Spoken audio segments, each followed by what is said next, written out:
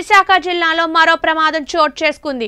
పరవాడ మండలం బరణికం గ్రామ పరిధిలో ఉన్న అనన్య అమోనియా కంపెనీలో గ్యాస్ లీక్ అయింది. గ్యాస్ పైపుల నుండి గ్యాస్ ట్యాంకర్లకు గ్యాస్ నింపుతున్న సమయంలో ఈ లీకేజ్ సంభవించింది. దీంతో స్థానికులు భయంతో పరుగులు తీశారు. గ్యాస్ లీక్ కావడంతో కళ్ళు మంటలు ఒళ్ళు మంటలు వస్తున్నాయని స్థానికులు చెబుతున్నారు. దీంతో గ్రామస్తులు ఆగ్రహం వ్యక్తం చేస్తూ కంపెనీ మూసివేయాలని ధర్నా చేశారు. సమాచారం అందుకున్న పోలీసులు సంఘటనా స్థలానికి చేరుకుని పరిస్థితిని అదుపు చేశారు